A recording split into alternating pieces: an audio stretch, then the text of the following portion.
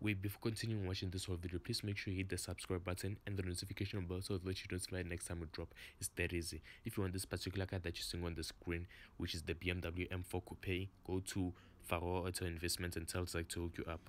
Tell him you were sent by us. Back to the video.